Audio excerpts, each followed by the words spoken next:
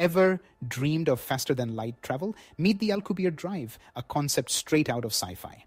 In 1994, physicist Miguel Alcubierre proposed a revolutionary idea based on Einstein's theory of relativity, a warp drive that could achieve faster than light travel by bending space time.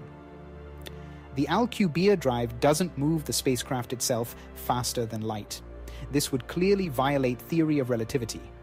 Instead, it moves the spacecraft within a warp bubble by contracting space in the front of the bubble and expanding space behind it.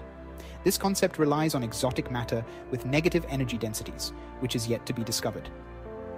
In 2021, scientists proposed a more realistic version that doesn't require negative energy, but instead requires massive amounts of energy. This warp drive has astronomical energy requirements, and so we're far from building one. But the idea continues to inspire futurists. If you enjoyed this, like and subscribe for more cosmic content.